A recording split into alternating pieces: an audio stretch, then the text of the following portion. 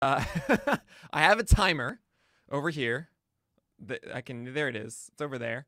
Uh, I'm going to be going through this. No notes whatsoever. Uh, I'm just going to kind of go off the dome a lot with it, and I I think I'm going to be under. I don't know. I'm probably going to like breeze through it. I'm going to have this little timer as, as to help out.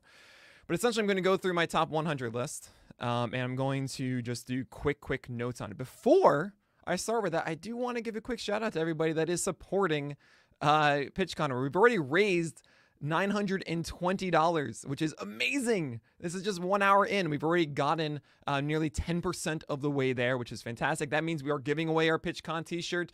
Uh, two copies, actually, of the 2021 Fantasy Black Book, uh, a CBS Commissioner League fee waived, access to the Dynasty Gurus rankings, and the 2021 Baseball Forecaster from Baseball HQ. We're giving that stuff away, so make sure you do sign up on that Google form at go.rallyup.com slash pitchcon. We're so close to putting uh, giving away an athletic pre- uh, subscription. So definitely, definitely, uh, hopefully by the end of this presentation, we can at least get to that thousand dollar mark. If not, to that the bat the subscription at one thousand two hundred and fifty. So really, thank you guys so much for uh, supporting supporting PitchCon. Uh, I hope I don't run out of energy. Uh, I'm going to just take a quick sip before I get going because, oh my God, how am I going to do this? I don't know. It's going to be 50 minutes. And I realize now if I do this in 50 minutes, I'm going to still have 10 minutes. All right. I'm not manipulating the clock. It's it's it's from vclock.com, all right?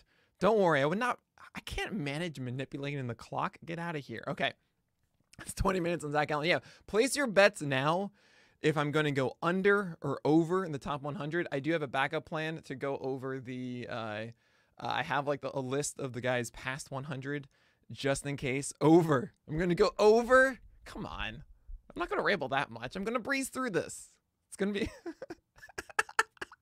Everyone is saying over. Just for that, I'm going to say under. Thank you so much. Pasta Lord 17, the one person that believes in me. I can do this. We might go a little bit long in this. All right, fast. Stop that. All right. you guys ready?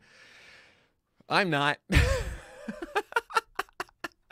All right, let's go. I'm going to start the clock now. Okay, so Jacob DeGrom is number one. Obviously, he is the number one starting pitcher. 21.6% swing strike rate overall last year, higher than any other uh, pitcher with qualified innings since 2010. He's increased his fastball for four straight years. That is his velocity on that. And he actually brought it down last season as he pushed up his secondary pitches, which were so good. Team is better, more wins, better defense behind him. He is okay. And by the way, I'm doing 30 seconds per pitcher. So next, Shane Bieber is my number two because I think his repertoire is just so deep. He added a cutter last year that is fantastic. It gets in the zone, it gets uh, swing strike rates. It reminds me of Corey Kluber, and I think his fastball command is better than what we saw from Corey Kluber as well. He's in Cleveland as well. He's going to go long. He had three complete games in 2019 that suggests to me that he can go deeper than some of these other guys. Yeah, Gerrit Cole, who is the number three, because honestly, after the fastball and slider, Gerrit Cole just doesn't have as deep of a repertoire as the other two guys. Changeup, curveball, not as good. Sometimes they still strikes, especially that curveball but I just don't believe that Cole has uh, the ability. He's more vulnerable, is what I should say. Uh, when that fastball isn't there, he's just not as dominant as the other two guys. Really nice slider, of course, and that fastball is fantastic. But we saw it last year, and I don't know, it scares me a little bit. Still, you're going to get the volume, you're going to get the strikeouts, you're going to get the wins. You should feel really good with Gerrit Cole. Yu Darvish showed his upside in 2019, the second half. We didn't really know if it was going to stick, but it was a better fastball. And then, of course, then it returned in 2020. It was exactly what we wanted. Uh, he had that sub two ERA. It was, uh, sorry, not sub two, but about like 201 last year, uh, 0.96 uh, whip amazing stuff. And hey, dead and bald could actually help him because a home run issue was the main problem. He might actually be the, one of the guys that benefits the most Lucas Giolito. Okay, he's my number five. The reason he's at number five is because of volume. Uh, volume, you're going to get it from Lucas Giolito. 175 innings in two uh, seasons prior. I think the Chicago White Sox with Tony La Russa there is just going to let him go. Like they have three guys essentially there Keuchel, Lynn, Giolito. They're going to go. His changeup and fastball are amazing. He goes north south with it. Uh, the changeup goes in the heart of the plate and gets whistles all the time. Check out that Codify tweet from yesterday. It's amazing. Uh, Giolito is just a really nice floor. Not necessarily the upside of the other guys ahead uh, before him. But uh, Giolito does have uh, that wonderful floor that you want. Oh no, I'm over. Okay, uh, we're moving on It to Aaron Nola. It's the same idea from Giolito. Uh, curveball usage went down a little bit last year, but it was the number one CSW pitch last season. Amazingly high O swing at 58%. It's exactly what you want to see. Increase the changeup usage, brought down the fastball a little bit. It's what you want to see. Changeup is fantastic with Aaron Nola. I think you're just going to get that volume. You're going to get really nice set of ratios and strikeouts. It's just incredibly safe. Go with Nola. Walker Buehler is a little bit better when it comes to ratios, but the volume, I don't know what's going to go on. Dodgeritis is a thing. They just added Trevor Bauer. They have like eight starters that they could trust in that rotation. I, I just, uh, it makes me a little bit concerned about the innings and the workload, but the skill set is there when Walker Buehler pitches. You're going to like it. That's why he's at number seven. I was tempted to put him at five, maybe even four, but I think all four guys above him, all, all six, are going to have higher volume than him. And I don't know if the, the performance is going to be so much better to justify a higher rank. Max Scherzer, I think we're underrating him a little bit. His slider is still one of the best pitches in baseball, and I think the small sample size of last year really didn't allow Scherzer to correct himself. He's done that in multiple years. He's corrected himself over the season. I think Scherzer still has it in him. I know that the age is an issue. I know the degradation is coming, but when it comes to injuries, we would normally say about 100 innings for Scherzer. He's going to go all the way through. He doesn't have any sort of cap or limitation like other guys. Don't be worried about Max Scherzer. He's going to be a rock for you through the year, and he still has incredible swing strike rates and amazing strikeouts. Trevor Bauer, I could probably go over on him. I'm going to try not to look, he was using sub some substance last year. We don't really know if that's going to stick around. He's on the Dodgers now. It's he could do a kind of five day funky, you know, uh, usage or inside that rotation. But at the end of the day, we've only seen a little bit of his success. The other guys above have a much longer history of having that success. And I think the volatility of Bauer is not getting played enough in his high ADP currently on NFBC. So I still like Bauer, but I think there's a little bit more risk than we're giving him credit. And we just don't know if he's going to be that 2.5 ERA guy or if he's going to be closer to a 4 ERA, while the other ones above are not going to touch a 4 ERA. Clayton Kershaw. No, I'm going over. Okay. Clayton Kershaw increases velocity last year, had an amazing season. Sub, sub, almost sub two ERA, not the 302 uh, ERA that we saw in 2019 all the stories of him falling off are not there. Innings is the only issue, but they're going to be of quality. He's never hurt you. You're going to feel good having Clayton Kershaw. 170 innings, sure. He's going to go pretty much every five days, I think, in that Dodgers rotation. Kenta Maeda is getting undervalued. He has an amazing changeup and slider, and he reduces fastball usage. Amazing. Did not get burned on that either. The Twins let him go. He, they let him go deep into games. The AL Central is not as weak as we like to think, but he still gets Cleveland and the Tigers, and we don't really know how the Royals are going to go. Kenta Maeda, I know, a small sample size, but really have the faith. There's a reason why he has these low BABIPs. He's really good at avoiding hard contact. Trust Kenta Maeda. Zac Gallen is my boy. I mean, I'm a Gallen gal. Of course I am. This is the user to be- year to believe into it. He had 170 innings in 2019. He has four pitches that are effective changeup, curveball, slider, and that fastball, which I think can be even better this year. He had an amazing four game stretch to start the year against the Padres, Dodgers, Astros, and Coors. He recovered from that five walk game and had only won the next three games. Trust Zac Gallen. You won't regret it. Luis Castillo, an amazing changeup, of course, but the slider, I don't know if it's going to be that whiff pitch or that strike getting pitch, and his fastball gets burned a little too often. He did increase its uh, four seamer swing strike rate to 16%, which is amazing, but his sinker gets a little hit. It's it's weird. He had a 123 whip last year. I don't really think he's going to be an elite whip guy, and that's the problem. That's why he's not in my top 10. The sinker had a fantastic 89 WRC plus last year. But I just I don't really know if that's going to stick. His command just isn't that great, being a little bit of a slinger. So be careful with Luis Castillo. I could have put him up a little bit higher, but I think the whip is the real reason why I prevented him from going higher up. Jack Flaherty, I don't know if he's going to be in rhythm or not. Last year was a really weird rhythm season for the Cardinals as a whole, and it's just a little confusing to see is Jack Flaherty going to be in rhythm with that fastball and slider? I don't really know.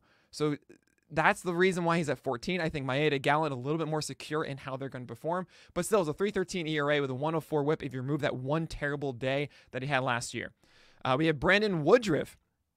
I love Brandon Woodruff. It was going 200, but he's not. The Brewers said that they were only going to throw 100 innings into everybody. 75 innings last year, which means about 175 this year, which is really good. Amazing fastball. It's going to be like mid to upper 90s. Really nice slider that's underrated because it does get constant strikes. That's a very excellent thing from Woodruff, but the changeup's a little bit volatile, and I just don't like the fact that it's only 175 innings. Still, you're going to be happy with it. He's going to get six innings often. I think he's the one guy that the Brewers are going to let go a lot. Blake Snell just isn't throwing his breaking stuff in the zone often. He did in the playoffs in game six against the Dodgers, and they pulled him because whatever. But now he's in San Diego. That's a good thing. I think he can finally go six innings, as we talked about endlessly. But the main thing you should be looking for is he going to be throwing his slider and curveball over the plate for strikes. Uh, get that zone rate above 30%, please. Then you can, maybe you can hint at that amazing 2018 run once again. The risk is just a little too high. That's why he's at 16. Lance Lynn, very, very secure. Chicago White Sox are going to let him go. Tony La Russa, once again, try to pull that, that ball away from Lance Lynn. Look, he went every single game last year above 100 pitches. He actually even threw 90 plus, I think it was like 96, 98 after five, and then came out into the six to get that quality start for you. Yes, it might be a little bit higher higher on the ERA side, but you'll get that in volume, you get that in whip back. You'll be really, really happy with the security of Lance Lynn, especially now with Grandal and a winning team in Chicago as opposed to the Rangers. Tyler Glasnow.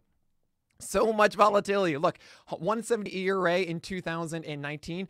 Uh, sorry, yeah, in 408 in 2020. That right there is the volatility of Glasnow. He doesn't know where it's going. Where's that fastball going? Where's that curveball going? Now, I don't know but he extends a lot, and that's really good. It makes a lot of deception. He does have a bit of a home run problem, by the way, on that fastball. I think the most home runs of any qualified pitcher on fastballs last season. So be careful with this. This is why he's in my tier three because there's a lot more risk than we would like to admit. Uh, there's Carlos Carrasco, who came back in 2020, made all 12 of his starts, and looked great. You know, a 291 ERA, 121 whip, 29% strikeout rate. I think that whip is going to improve this uh, future season because he had his normal uh, ups and downs. And I think in the small sample, the the downs really overplayed a bit when it came to that whip. The slider and changeup were a little bit gone for a little while, but still, now on the Mets, winning ball club, they're going to let him go, I believe, in New York, and a good defense behind him. You should be getting Carlos Carrasco. Steven Strasburg, look, he's injured. I don't really know how uh, how he's going to pitch this year. If he's in there in spring training, monitor his velocity, make sure everything's okay. But look, when Strasburg has pitched, he has been fantastic, save for 2020 when he had to get carpal tunnel surgery. I think we're underrating Steven Strasburg. There is risk right now. That's what's making people avoid him. But once you're actually drafting in March, you'll know the story here. And I believe, if I had to guess, that Steven Strasburg will be healthy by then. Sonny Gray, I'm still on target. Sonny Gray is uh look, his breaking stuff is really, really good. Slider and curveball, but it does go away at times. And I don't really love his fastball changeup combination, really four seam sinker and changeup um, that he has, which showcased itself in the final four starts of last year to led to a 370 ERA overall when he had a 194 before then. So he's going to get a harder schedule this year. Still, I think the volume will be there in Cincinnati, about 175, maybe 185 if he stays healthy. You'll like it, but he doesn't have necessarily the ceiling, I think, for consistency through the entire season. Hyunjin Ryu is on the Blue Jays, and it's really nice to see that he had 12 starts just now uh, for them this past season. However, the Blue Jays signed him saying, hey, we only expect about 150 innings this time last year. I think we're going to see something like that, and that's the biggest problem with Ryu. He has an injury history, and I think the Blue Jays are going to play around that a bit. But look, really, really solid. Think about Kyle Hendricks and a little bit more high, uh, higher strikeout upside. Uh, added that cutter last year, really, really good, or actually made it better, and that's a really good thing. Charlie Morton is back for his uh, last season, essentially. I think the ADP is low because everyone didn't know if he was going to retire or not. Now he's not retiring and it hasn't adjusted properly.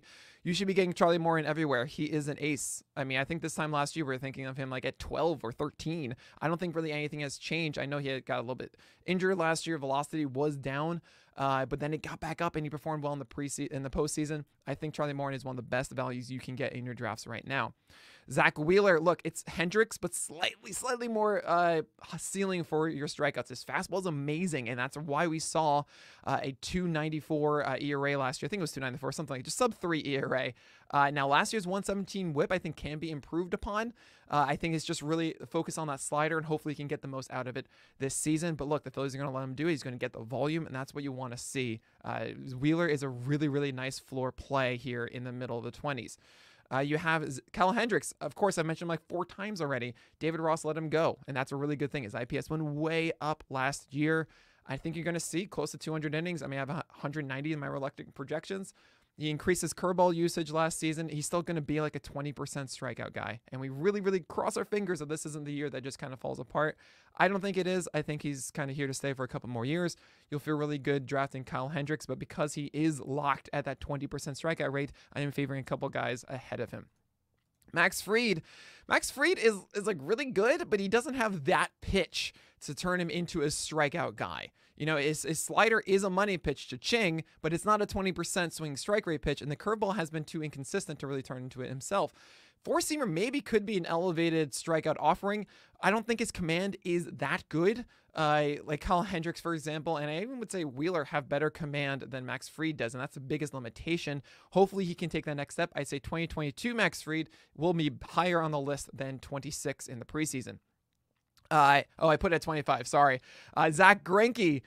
Um, look, I can see the future, is what I said. Uh, he has he'll have diminished velocity in March, and then of course he'll be fine again. Look, he had 86 mile per hour fastball at the beginning of the year, and then Greinke by the end at 88 and 88 and change.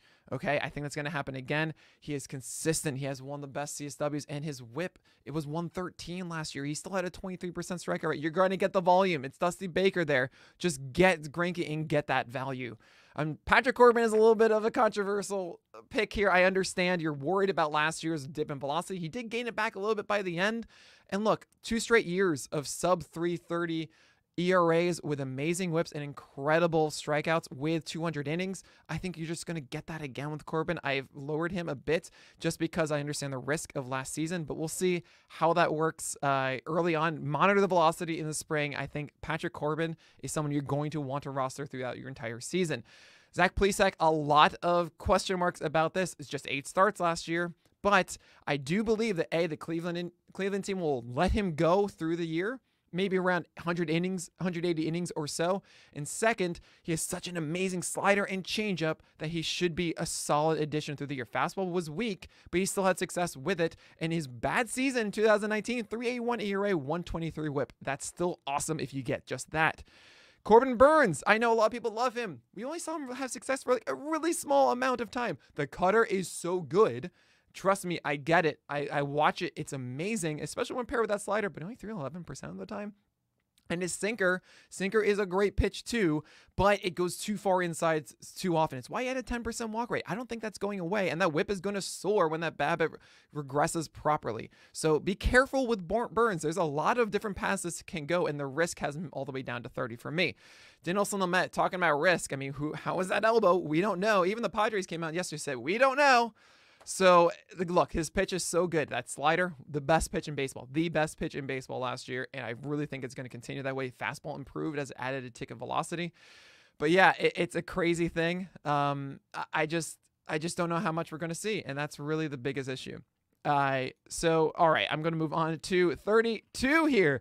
Uh, Jose Berrios, another year, and I'm just going to be ranking him in the 30s. Like, he's a very nice floor. I don't think he has the ability to be like a 3A rate guy. He doesn't have the ceiling of the others, but he's going to be solid for you. And it's going to be the curveball that's going to go in and out through the entire time. So, uh, oh man, Dave Martinez. Oh man, look at that. Thanks a lot, Dan.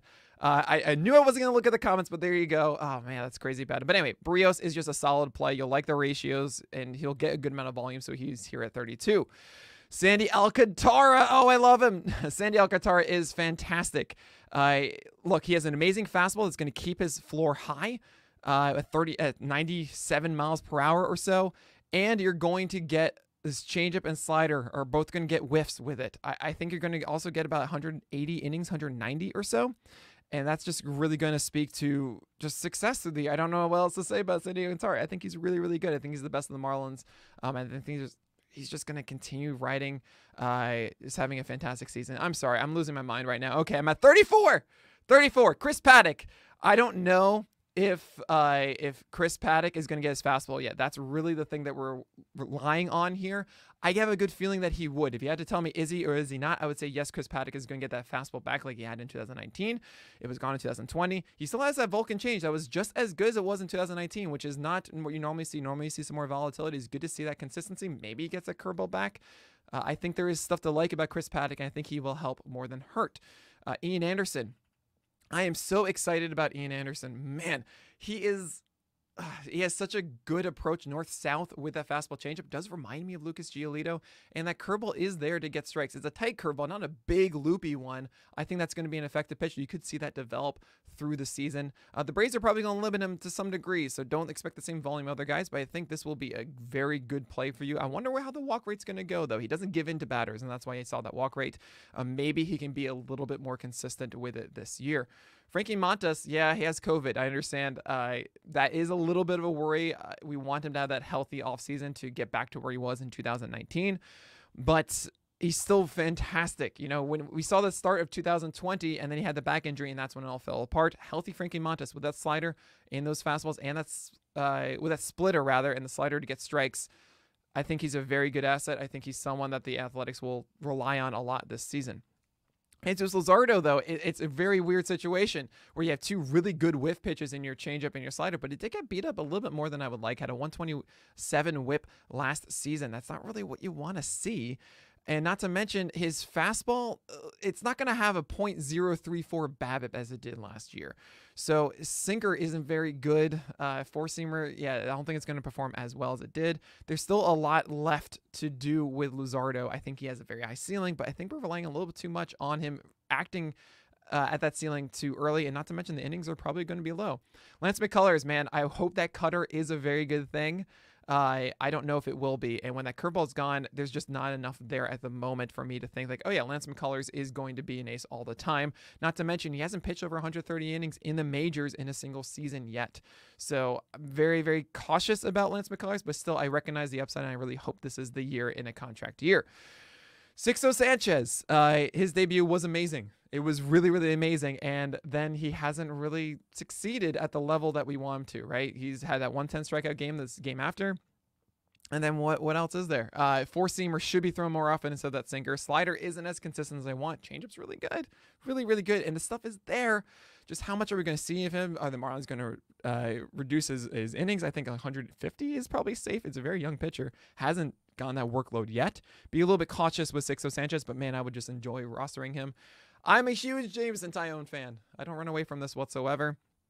Uh, Taillon, like, look, you're going to get 150 innings likely this year. I know uh, the injuries before, but he changed his mechanics. He improved them, better arm circle.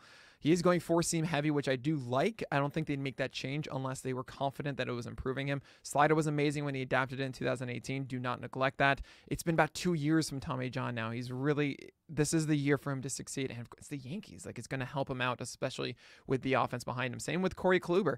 I, I look, I'm willing to take the chance on Corey Kluber, considering the Yankees spent $10 million on him. I think they liked what they saw of him. Yes, there is an injury risk here, but don't forget this guy was a legit top 10 pitcher for you. And at 41, that's the place that you should be taking the chance uh, on Corey Kluber because of such a massive impact he can make. You're looking at all the other guys below him. No one has that ceiling that Corey Kluber does. I think you should go after this one. Framber Valdez. I look, curveball is amazing. Like seriously, it was so good. 118 batting average allowed. Sinker, I think, overperformed a little bit. He did increase his velocity last year compared to 2019 slightly, but I do feel that he's kind of in the middle between the 2019 2020. I do like that the Astros likely will push him a good amount, especially with Dusty Baker there, as I've said multiple times. But yeah, I don't think that Framber Valdez is as good as we saw in 2020. Um, over reliant on that curveball's performance, and there isn't really much else there. And I don't think that curveball's on the same level of Dinelson Lamet's uh, breaker. So I'm a little bit cautious here on Framber Valdez. John Means, I absolutely love though. I think if you look at the narrative of the season last year, once he finally got into rhythm, which was his final starts, he had two straight. Uh, the final two games were 21 strikeouts, increased velocity in his fastball, improved its command overall as he pulled back a little bit in the velocity, still higher than 2019. Changeup, which is actually as good as 2019. I think that can get there as well. While his breaking balls, oh man, his breaking balls are going to be there. I promise you. John Means' his breaking balls have been developing, and I think they will be there in 2000. 2021. You want John Means on all your teams. Pablo Lopez, you guys know I love Pablo Lopez. Uh, I love his changeup, of course. I like his cutter that I think he can throw more so to left-handers this this season, especially good a good job throwing it glove side as well. Um, he has a fastball. He does jam guys. I think it's a little bit too low at the moment, and I think his command needs to get slightly better on that sinker and four seamer. Secondary pitch that is his breaker, not that great, but that's okay. Cutter, fastball, changeup. I think he'll be consistently good for your teams. Dylan Bundy, is it going to be 2020? I mean, keep in mind, he made this adjustment of fewer fastballs for more sliders, for curveballs, everything like that, and it was really successful. In the last two starts of the year, he all of a sudden upped his fastball usage while its velocity was down and he got rocked. It was really strange seeing that from Dylan Bundy, and we have such a small sample of his success that we have to be a little bit cautious. Don't just jump into Dylan Bundy. I recognize how good it could be 329 ERA, 104 whip, 27% strikeout rate. But yeah, be be a little bit worrisome here about Dylan Bundy. This could fall off, and I don't like that. Uh, Aaron Civale, ah, oh, it was so exciting seeing him perform at such a high level with no fastballs and just cutters and curveballs out of the gate last year. I think that cutter is so good as well as that curveball, 20% swing strike rate um, and 47% zone rate. It's a really, really good pitch. I wonder if he's going to develop further with that changeup and slider to complement it. And using that sinker as a surprise pitch later in counts, I think is a really good approach. I think Aaron Civale can go deep into games and be a surprising, surprisingly good player after, you know, he really blew up in the last start. Uh, eight earned runs that brought his ERA down 0.75 points. Joe Musgrove is moving to San Diego, and you should be excited. His September was phenomenal with CSW rates for his curveball and slider being number one and number five uh, relatively to the field. It's amazing. I'm just excited for a full season of him. I do recognize the injury risk, that's why he's at 47. But really, this has potential of being a top 30 guy, uh, as he, we've been uh, excited about for years. So definitely consider Joe Musgrove a ton.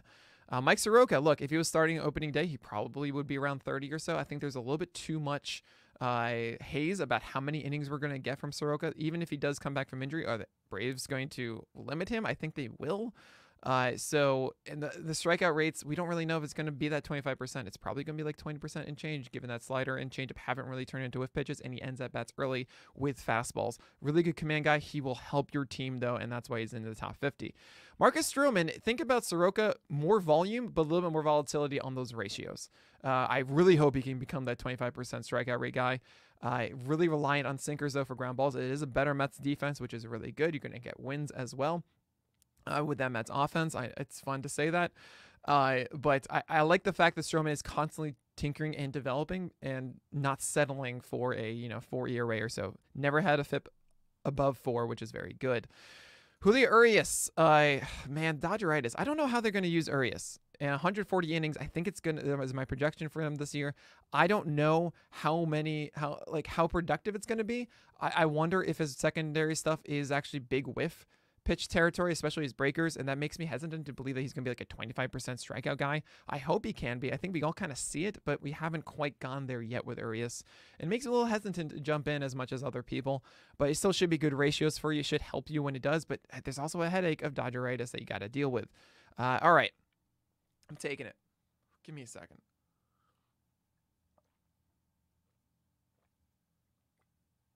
I'll make it up. I'll make it up. It's fine. um, y'all are dope, by the way. you guys are the best. All right, I got I got ten seconds. Hold on. Whew, be having fun. All right, here we go.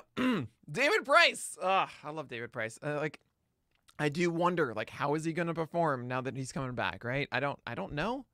I, I just don't know. We missed this entire season, and he had so much success before that wrist injury. We're talking like a near three ERA with a 115 WHIP before he got hurt in 2019, and then he got hurt, and he was just terrible after that. Like this could be an amazing play for the Dodgers uh, and your fantasy teams with David Price, but we just don't know, and that's why he's at 51. But I want to take the chance wherever I can. Tyler Mahle, um, amazing four seamer, slider or cutter, however you want to define it really good pitch. He kept at the bottom of the zone, and I think that's the hyper reliant focus, right? If he can continue doing that, we might see a breakout season from Tyler Mahle. But there is a very low floor here. Um, be careful about this. He can go in and out. Uh, we saw that in like the twin star. He just couldn't get guys out all of a sudden when he couldn't get that slider to get strikes, and that can be a problem. So sometimes that fast was a little too hittable as well. It's a risk reward here. This is the cherry bomb play. Kevin Gausman, he's very reliant on a splitter, but guess what? It's the most consistent splitter in baseball. And the main difference from last year is that he increases fastball velocity a good amount and he had a lot better command of it, getting it up and in to right-handers. That's where you want to put it.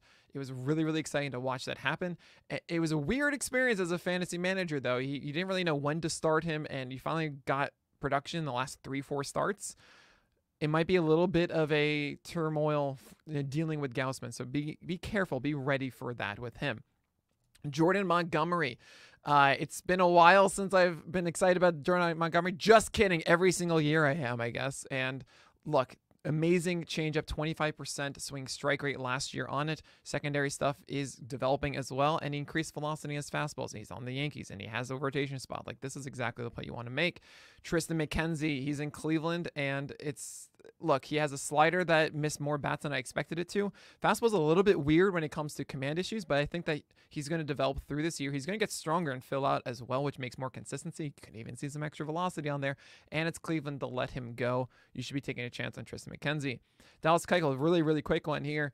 Uh, he's a Toby, and you're going to get really good ratios. Had a fantastic season last year. It should still be there with Yasmani Grandal there, and you have a winning ball club. Like this is just a safe, productive thing. Sure, you're not going to get strikeouts, but get someone else for that. Ron Marquez, do you want to deal with this? It's like 50% of the time. Uh, you're going to have to actually platoon him on the road versus home. Uh, and sure, he has some good home starts. Good luck figuring out which one it is because it could just blow up in your face against like the Diamondbacks, and you just don't know what's going to happen. So we'll see what happens there. Uh, Jose Urquidy, though, I more likely would deal with because honestly, Urquidy had a really disruptive 2020. And now, eh, you know, he's back in rhythm. He had COVID last year. Don't forget that. He had an oblique strain uh, I believe as well. So it's it's just kind of weird, and I'm willing to throw away 2020 in favor of 2019, where he has four pitches that he can confidently throw for strikes. I think this actually might be a little surprise for people. Uh, I would take the chance on Urquidy. Shohei Ohtani is getting underrated. I don't know what's wrong with y'all. he is so good when he pitches. Fastball performed so badly uh, when we first saw him, and I think it's going to improve this year. Like the, the Angels have accepted, yes, he's a two-way player go get Ohtani. He's just being ignored right now, and it's really silly. I think you're going to enjoy rostering Ohtani. James Paxton is now a Seattle Mariner. I think it's a wonderful home for him. He has been really successful. He's never had an ERA above four. He's had three consecutive seasons with a 28% strikeout rate and a sub 130 whip. Like, James Paxton is good. You might have to deal with injuries and stuff like that, but we're at the point here at 60. Like, you're not. You already have your four that you're you're strong with. Might as well get the guys that should be valuable when they pitch. Um, Chris Sale, I know the whole and neck injury probably puts him actually at the bottom of this next little mini tier. Uh, it's fine. Uh, you're going to get value with him. Make the decision to drop him later in the season. Give yourself the opportunity at least to make that choice. Draft him in your leagues. It is injury. Uh, he's just put him in the IL spot, and you'll be fine with it. He's a top five SP when he's healthy. Uh, Severino's a top 10 guy. It's the same idea. Uh, he maybe will be back sooner than Sale because of the next stuff, but really, like him, Syndergaard is the same stuff. They're all filthy. Like, just get them. Just get them and like make the decision later on in the season uh, when you need the IL spot. Give yourself that option. No reason not to do it. Because now we have the tier of like, I don't know if this is going to work. So at least you're going to give yourself the option before. Uh, Drew Smyly. Look, the thing about Drew Smyly is uh, oh I'm ahead. Oh sweet. Drew Smyly uh, increased velocity last year. Yes, it did come down a little bit by the end, about 93 miles per hour, but still ahead of the 91 and change that he had previously. Had a 70% swing strike rate in that final start against the Padres when he had that decreased velocity. Much better curveball, much better cutter. Like this is the guy I want to take the chance on early. Uh, Mitch Keller. Uh, Mitch Keller, like he was throwing 94, 95 when he came back from the oblique injury. Ah, oh, that's who had the oblique injury, not Jose Urquidy. Sorry about that the Pirates are going to be relying on him. They're going to need to get some innings from him. I don't know how many we're going to get, probably like 160 or so, but it could be really, really productive. We were really excited about him this time last year. I think everything that we thought about entering 2021 is 2020 is exactly the same. Consider Mitch Keller. Zach Davies, just get him early. Like he's gained the Pirates against Mitch Keller in the first two starts. You are going to want that. It was a Vargas rule last year. It felt like one with that changeup because I don't think it's going to perform as well as it did at 200. He had a 200 BABIP and 20% swing strike rate on that changeup. I don't think that's going to stick, but he should still be productive at least for those first two starts, and then you can make a decision after that. This is right when you should be looking at the early schedule and planning around that. Tony Gonsolin. Look, I love Tony Gonsolin, but then all of a sudden Trevor Bauer was signed, and now he's the number six, and it gets really, really messy. We just don't know how many innings he's going to get. If he was on Cleveland, for example, I think Tony Gonsolin would be an absolute steal. He is such a good pitcher with an amazing slider and amazing fastball. Uh, sorry, splitter as well. Fastball's still like mid 90s or so. It's not like detrimental. It's just not great. Tony Gonsolin is a fantastic pitcher. I prefer him over Dustin May, who isn't. well, no, he's a great pitcher. Uh, uses the sinker a ton and gets those outs, but it's it's it just isn't a whiff pitch, and he doesn't have one. The cutter should be. It's like 94, but I guess it doesn't move him enough. I don't know. It's not getting the results that it should get. That's a problem. And also, it looks like Dustin May is out on. Uh, I would say Gonsolin first, then Dustin May as a starter for the Dodgers. If I had to guess, it's just a really tough situation, so I group them both together. You just don't want to deal with it, guys. Jake Odorizzi, where is he going to sign? I imagine it's going to be a place that's going to let him start constantly. Yes, he has been limited usually, but that's because the Twins didn't let him go third time through the lineup. I imagine wherever he signs, they'll let him go third time through the lineup, which is a very, very good thing. Uh, man, I am blowing past this clock. This is amazing. Uh, I told you guys. All right. I his splitter uh, can be there at times, but really, if you see Jacob Odorizzi at the top of the zone painting it red and four seamers, that means a good that that's exactly how he should be performing. Um, those four seamers in 2019, a thousand thrown, 15% swinging strike rate with a 59 WRC plus. That's absurd, and I hope that we get to see that again. He just pretty much had a lost 2020 season. I think we've forgotten about him. You want Jacob Odorizzi when he does sign. Uh, Zach Eflin, I go back and forth on this one the curveball has been a major topic of discussion. He had it and then he didn't and then he hadn't. Like only half of his starts did he throw it over 10% of the time last year. Like he's talked about I need to feel it in the bullpen before the game before it comes in. Look, if it becomes like a 20% used pitch constantly, yes, I do align more with Michael Ajeto and his article about Eflin. Read it. It's a great one. But otherwise, it's just sinkers and sliders in the same spot uh, that is down and away from right-handers. And I think it's makes him too hittable. You know, he hasn't had a hit per nine under nine in his career, including last season when he had that curveball bit. So it's a little bit shaky, and that's a reason why I don't necessarily want to trust uh, Zach Eflin a ton. Now, Domingo Germán at 71, I might be changing because actually came out that Deivi Garcia might be the front runner instead of Domingo Germán. Whoever it is goes right here for the most part. Uh, I think Germán, if he does get his opportunities, is a very good pitcher. Uh, his curveball was phenomenal. He was finding the zone at a 48% clip while also having a 20% swinging strike rate. That's really, really good point. 1.89, sorry, 189 batting average allowed on that pitch. He pitches for the Yankees, a good thing because you get wins. Uh, the question is how much we're going to see of him. But you should take a shot on your drafts saying, hey, it's going to be Germán or Deivi Garcia, whichever one you want. I love Deivi too, honestly. But I just think it's going to be Germán, so that's why he is here. Michael Lorenzen. Oh man, Lorenzen. He was throwing gas as a starter. Sure, you're going to see like the the higher velocity because he was out of the pen. He was throwing 96 as a reliever. Uh, sorry, as a starter for five innings. I mean, amazing. 14.5% swing strike rate. And he gets to face the Pirates to start 2021. Take the chance here. He's their number five at the moment. The slider and changeup both had a 24% swing strike rate. Like, this is really, really exciting. I think you should be considering Lorenzen, sure, it could be really bad out of the gate, and then you just drop him. That's why he's at 72. But definitely monitor that if he is the starter, uh, the number five starter for the Reds out of the gate. He throws hard. He has two really good secondary pitches. Like that's what we want. Sure, sure. The sinker and the the cutter get hit hard. Maybe he just moves away from it. Just this four seamer slider changeup. I think that would be great what are we going to make out of Eduardo Rodriguez? I don't know. I hope he's okay. Like, I really just hope he feels 100%. All the health concerns are behind him.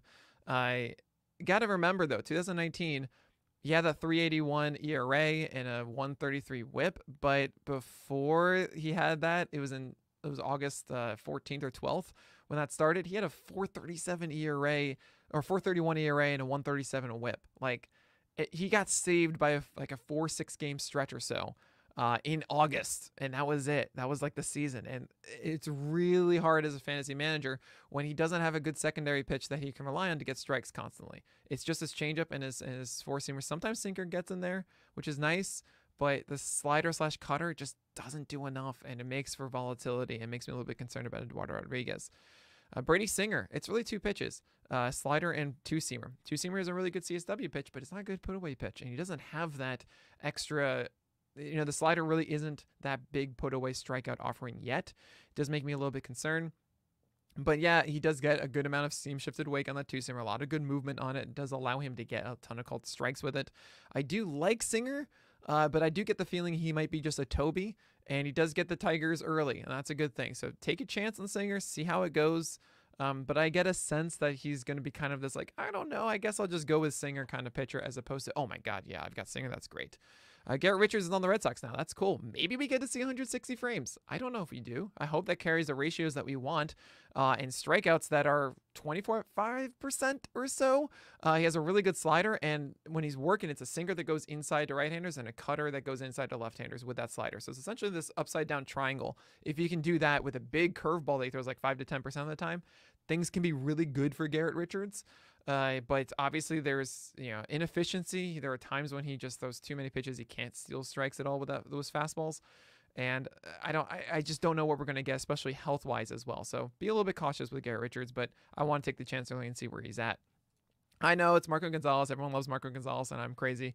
Look, 12 teamers, I don't think that he's that three ERA guy or that sub one whip. I just really don't. I think he's had a Vargas rule last year. Um, I don't understand how his sinker performed as well as it did. I really, really don't think this is just Kyle Hendricks 2.0. Uh, I think he's more of that 3.9 ERA guy that we saw in 2019, and it's really just that simple. Like I, I he had an eight percent, 8.4 percent swing strike rate, and he had a 23 percent K rate. It just doesn't add up. Um, I think you're going to see a more like a 20 percent striker rate with like a one two whip, one two five, and uh, he's just a Toby. And look, I recognize that maybe I'm wrong about this one. I could easily be, but I, am just not going to take the chance. Uh, Andrew Heaney, uh, he's so inconsistent. When I think it's because he's a sidewinder, he doesn't get the fastball high enough and lands too middle of the plate. Changeup and curveball both can be really good, but they just are too inconsistent. And he gets injured a ton. There's a huge risk here with Andrew Heaney. The schedule isn't so great, for the uh, for the Angels either. You get the White Sox and then you get the Jays. Very good offenses there too. So it makes me a little concerned if I'm drafting Andrew Heaney. What am I going to get early? It's pretty tough uh, to endure that. But Andrew Heaney ceiling is phenomenal. So something definitely to consider uh, with that, when that changeup and curveball are working, that fastball is up. Oh, it's beautiful, and you might you might still see a 25% strikeout rate this year from Andrew Heaney. But yeah, the inconsistency is going to drive you mad. Uh, Cristian Javier, I don't really know if he's that great for fantasy purposes. He had 94 miles per hour on his fastball in the debut, but then constantly in every start, he didn't have the stamina, and it would decrease and go down and go down. The breaking ball, the curveball, is really nice but I don't think he uses it the right way, and he isn't getting the mass amount of whiffs that I want. I think this is more like a Toby. I think I'm okay starting Javier at times, but I don't really think he's that big impact starter, and he just kind of is a fill in. Um, that maybe I, I don't know. I hope that it will carry on, but yeah, you're not going to get a ton of innings out of Javier this year. Chris Bassitt, kind of like Marco Gonzalez. I see him as a Toby. I just don't think he's going to perform as well as he used to. He's really hyper reliant on a sinker that gets a high CSW and tons of cold strikes, but he doesn't really have a secondary pitch outside of that that is really good. Sometimes the cutter is very good for Chris Bassitt, but it's just not the overwhelming pitch we want it to be, and it just makes too small of a margin for error for me. And not to mention, he has a tough uh, Astros and Dodgers uh, matchup to start the year, and you probably won't like Chris Bassitt for those. So I think if you're looking for a Toby, you can find those during the season. Don't go after Bassitt. Um, I got 10 minutes left. I got this. Nate Pearson. I uh, look, I, I, wrestled with this one because Pearson's upside is obviously really, really good. Um, throws really hard and has amazing slider, but he's injured a lot, and we don't really know how many innings we're going to see from Nate Pearson, and that's a huge, huge concern for me. I I just I just don't know what we're going to get out of him and if it's going to be efficient enough for us to want him consistently. Uh, Dane Dunning, uh, a lot of people like him. That 24% or 22% slider, uh, swing strike rate slider. He's going to get a lot of opportunity inside of Texas, which is really good. But that's not a very good team. You're not going to get wins with that one. And I think his stuff is okay. Like I don't think his four seamer is really a 13% swing strike rate. Like I don't know if his 25% strikeout rate is going to exist, and I think he's more like a four ERA guy than he is something like a 3-5 or so. So really be careful with Dane Dunning. Uh, Spencer Turnbull, look, can you just cut out his cutter? Oh, sorry, sinker, please. He has a really good slider. Four seamer is really good. Curveball can be there. And look, if you can give me four seamer slider, curveball consistently, Turnbull's cool, and he has a his Cleveland to kick it off, which is very good. I, I am okay taking a chance early on Turnbull and just seeing the sinkers there. But even if it isn't there that first game, is it not going to be there the next game? I don't know. I, I really just don't know. So uh, it's a little bit, it's going to be weird dealing with Turnbull this season. Ryan Yarbrough has not had a whip under above 130, which is really good. He's got this nice curveball, sorry, cutter and changeup to get strikes consistently. And the fact that they need him to be a true starter now is just Archer and Glasnow, really. And Rich Hill, like, you need Yarbrough to get some innings there. You're going to see that with Yarbrough this year. Uh, he kind of is like a Kyle Hendricks in this way. He throws really soft and stuff. I think it's like a 20% strikeout rate, though. And I don't think we're really going to see those seven inning gems that we saw in the middle of 2019 again from Yarbrough. So I think I'd just rather not deal with it than uh, than chase him. Uh, Caleb Smith, though, hi, what's up? You got the increased velocity in that first start last year that we were waiting for this past season, but then you got COVID and the whole thing was just like a lost season. It was it was really crazy. Nearly 50 games, 50 days between his first start of the year and the second one absolutely crazy. He has a rotation spot right now. The velocity is there. At least we saw it last year. I think it will be this year. This is really, really fun. I'm telling you guys, it was not like the top 50 or something like that. This is 84 take a chance on Caleb Smith. I think he can really impress you with an amazing slider and changeup as well. Kopech probably will drop down a little bit now. There's, more confirmation coming out that Kopech is going to start the, the year in the minors with Rodon being in the rotation spot firmly. Still, I think the ceiling of Kopech is really, really high throws upper 90s, has a has a solid slider and changeup as well. And the second he does come up for the White Sox, I think they're just going to let him go. Uh, there is a lot of volatility inside the rotation too, with Rodon, with Dylan Cease as well. So you might see Kopech come in relatively early in the year. If I'm going to stash anyone, honestly, that is a prospect. Sorry, Andy Pad, it is Michael Kopech for me. So definitely consider this uh, Kopech uh, early, or at least you know the late round of your drafts, and then make a decision to drop him later if you want. AJ Puk uh, is number two for me here. I just don't know how they're going to do it. Now they did just sign Trevor Rosenthal, and they have Jake Diekman as their closers, so maybe Puk does fight into being a six-man rotation for the Athletics. We will find out more in spring training. Just be cautious of him. Uh, near 100 miles per hour at times on that fastball with a really really good slider. Uh, that just plays. All you need is that and AJ Puk can provide that. So very interesting player here. Don't forget about him with his injuries and stuff. This might be the year we start to see AJ Puk maybe in the rotation. Alec Mills, look, he gets the Pirates twice to start the year. Like, I don't think that Alec Mills is just going to be this consistent, amazing player for the year, but you are going to want to start him for those first two starts and then just kind of take it from there. He's not going to, you're not going to start him against Atlanta and Mets after. So don't really last farther than that. But hey, that's two productive starts to kick off the year while you monitor everything else. I'll take that. Uh, J. Happ for the Twins. Look, J. Happ is actually kind of solid. Like he's always kind of been good. 365, uh, 365 ERAs and 130 whips essentially since 2015. He, he's on the Twins now. He's gonna get some wins with that. He's just he's a nice little Toby essentially. Brewers and Mariners start the season. That's good. I'll take him for the Brewers and see where we go from there. Mike Minor, same idea. He gets the Rangers first, and this is a Toby essentially. I mean, he actually has the ceiling of a 200 strikeout season. He did it in 2019. I think the Royals are going to lean on him a lot. Maybe we see that slider actually being a good pitch, while the changeup and fastball were a really nice combination 2019. Took a small step back with them last year, but there's a chance that this actually uh, is a solid year for Mike Minor, and there might be some value here. Michael Pineda.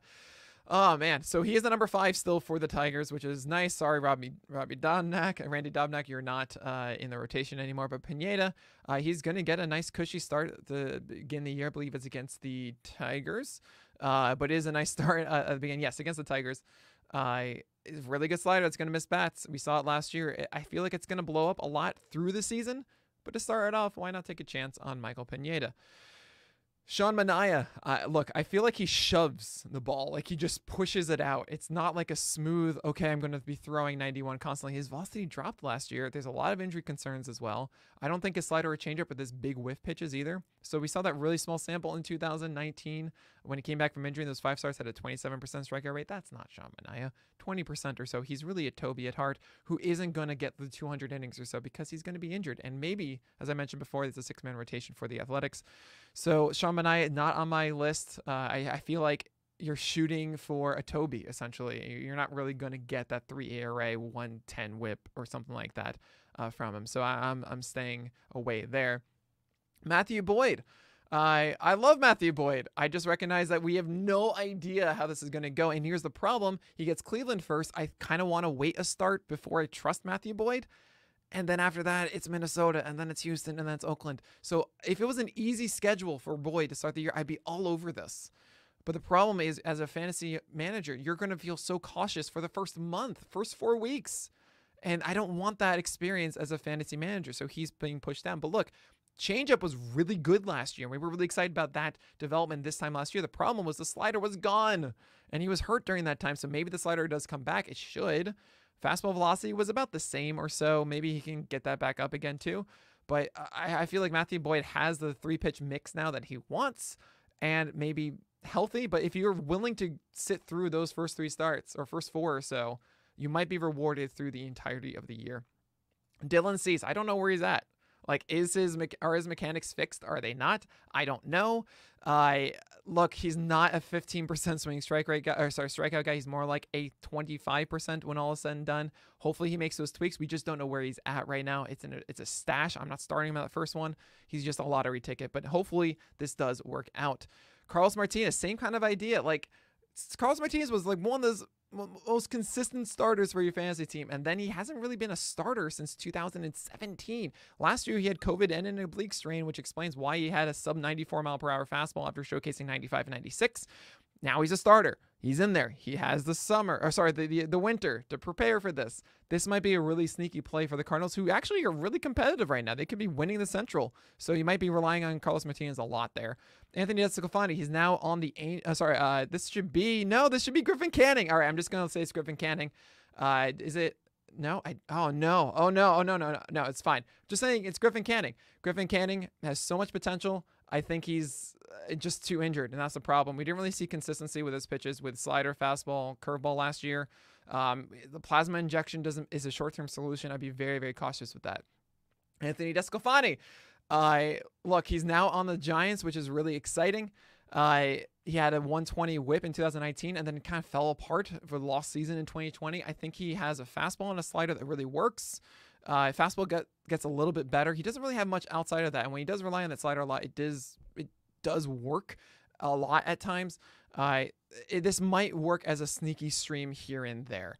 Uh, you say Kikuchi, man, I'm off by a number now. Okay, this is fine. Kikuchi, look, I love that upside. He increases velocity. He has that cutter that is a really, really effective pitch now, but it wasn't consistent whatsoever.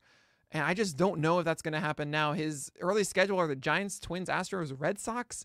Like, I just want to wait and see.